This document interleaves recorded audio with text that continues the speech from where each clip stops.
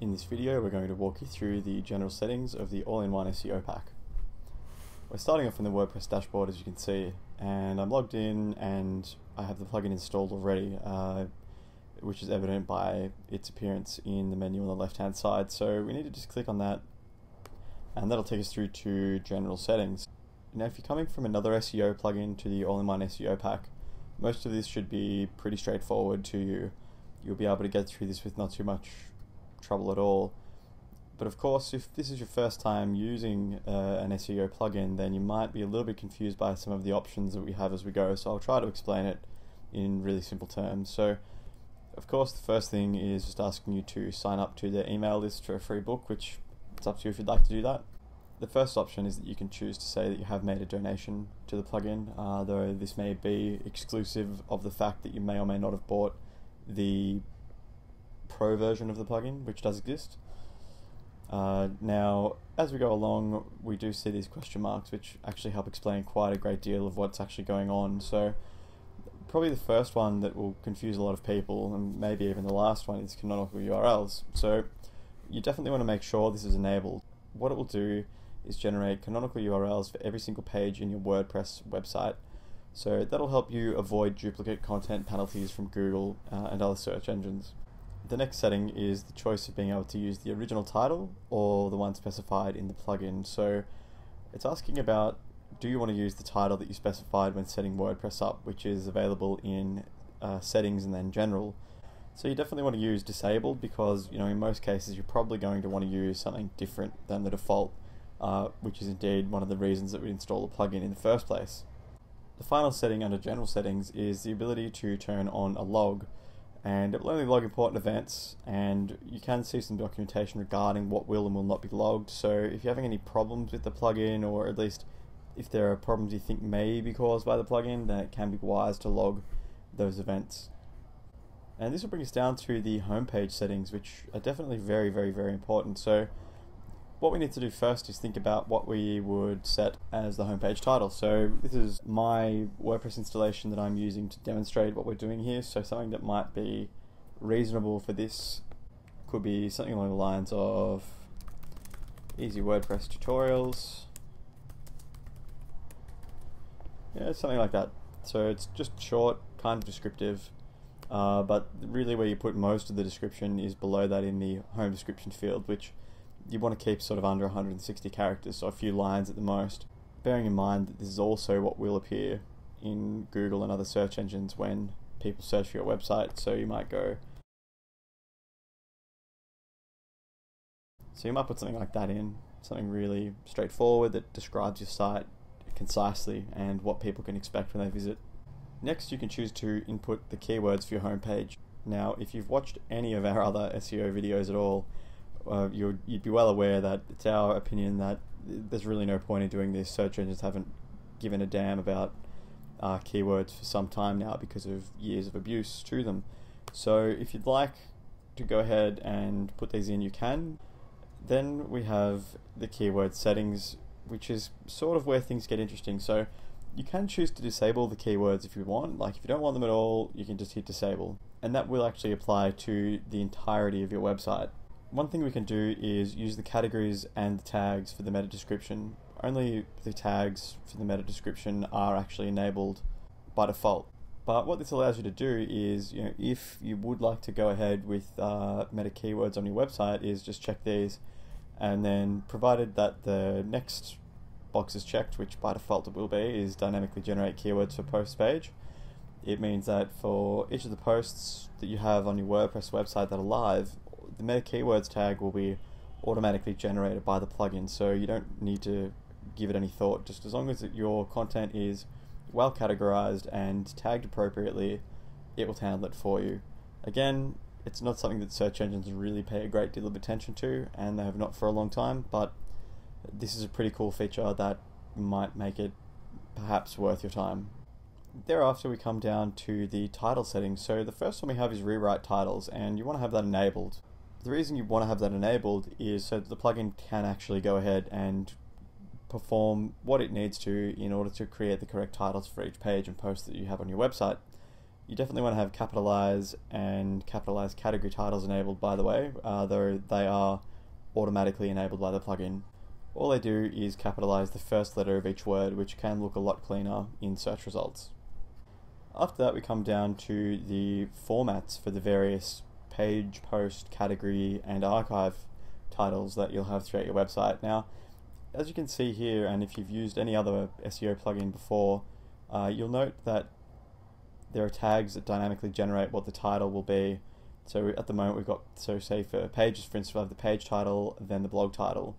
Now, if you click on the question mark, it will actually give you a list of all the tags that you're able to use when you're going ahead to set this up. And you can do this just sort of anywhere down there as you go, because there are quite a number of them to know, and it's unreasonable to expect that we'd remember these all the time. So, for the most part, and for most people, what's already filled out in the title format fields is going to be acceptable. I mean, we've got the page title, then the blog title, post title, blog title, and so on.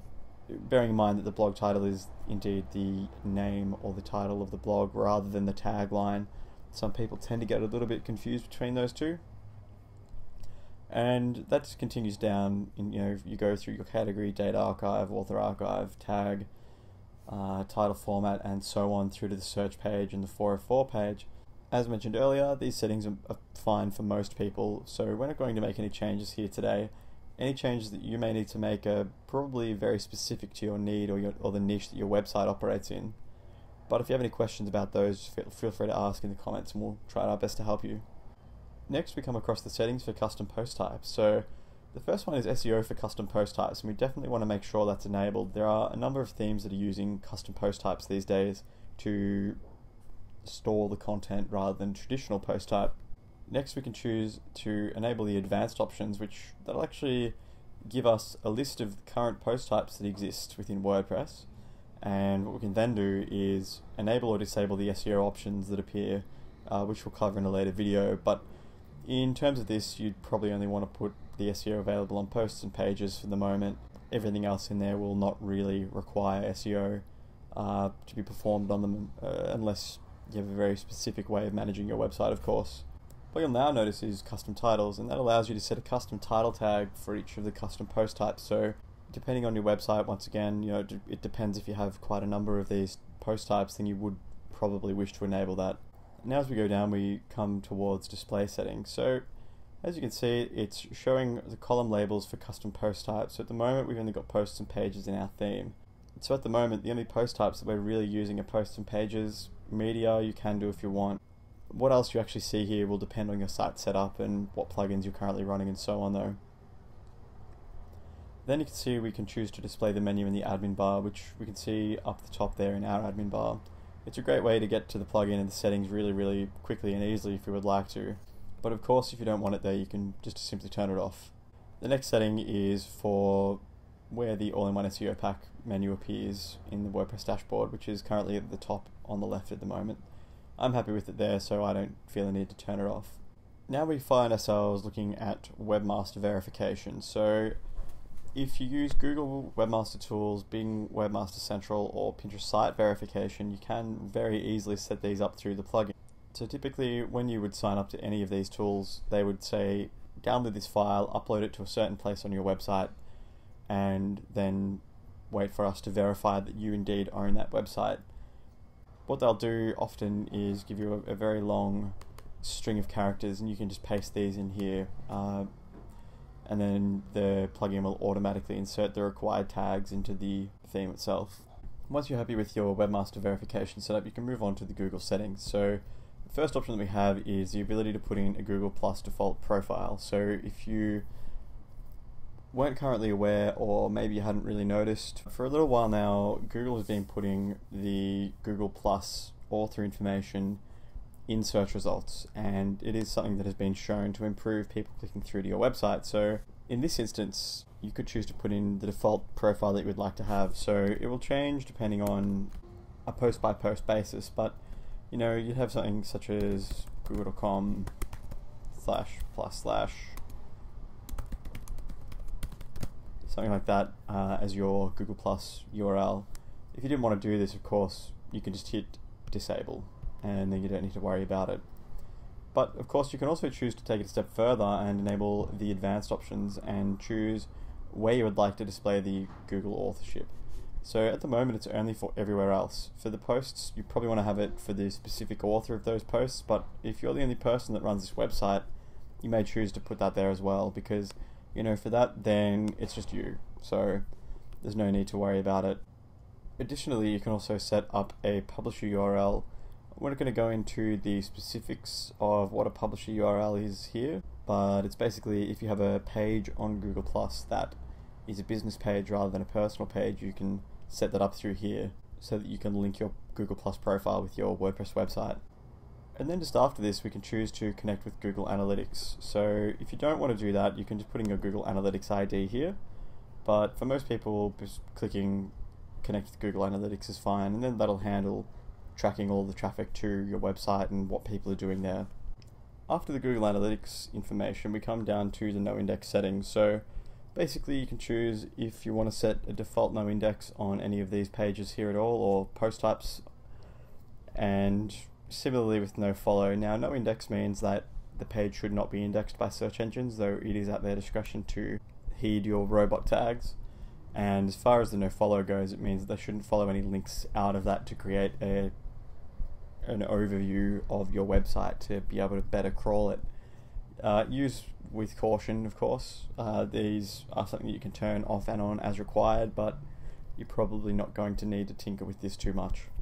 Then you just have the ability to turn on no index for categories, date, author, tag, archives, and the search page as well. So, depending on the layout of your site, will really dictate how you choose to have these settings. So, no index for categories, it's limited in use really because leaving no index for categories turned on could be useful for your website, uh, but it depends. You know, if you have a lot of categories on your website and you've maintained category description on, on each of them, then you may want to turn that off because categories might be the way that people navigate through your website. Conversely, you may wish to turn no index for tag archives on because maybe you don't use tags on your website. And similarly, this applies for date and author archives as well as the search page. You can just turn these on and off as you need to, but again, it really depends on the layout of your website. Finally, we have advanced settings. So here we've got the ability to auto-generate descriptions. This will just allow your meta descriptions of each page to be automatically generated based on the excerpt and content of each post. It's turned on automatically, but of course you can turn this off if you would like to handcraft each of those meta descriptions. Next, you can choose to remove descriptions of paginated pages, which if you have a lot of paginated pages on your website, then it could be useful. Otherwise, there'll be a lot of duplicated descriptions. So use it if you think that it will be handy for you to use it, but for most people, leaving it off is probably okay. You can choose to unprotect the post meta fields. Now, these are used with XML RPC, so if you're not sure what that is, don't go ahead and use it. But if you do need to use that functionality, then you may wish to turn this on so that you can work with your website as you need. Then we can choose to exclude pages. So if you have any specific pages on your website that you'd like to exclude, maybe a contact page or something like that, though why you would choose to do that to a page like contact page is uh, up for debate. You can do that here and just putting in a, a comma separated list. So so something like that. The next four fields we have are for adding additional headers to posts pages, the front page, and blog pages. So use this at your discretion. Be careful when you use it because whatever you put in here will be put in exactly as you put it into the head of the document on each page. There are arguably better ways of going around putting content into the header of your website, but if you would like to use this plugin, you can definitely do that. Once you've gone through this page of settings, uh, feel free to click Update Options to save all the changes that you've made. And when they've been saved, the All-in-One SEO pack will return a message similar to this that you can see at the top of the screen. We've covered quite a lot in this video. We've covered all of the general settings that are available in the All-in-One SEO pack. There's quite a lot to go through, so feel free to pause as you need. But if you have any questions, please feel free to ask in the comments below.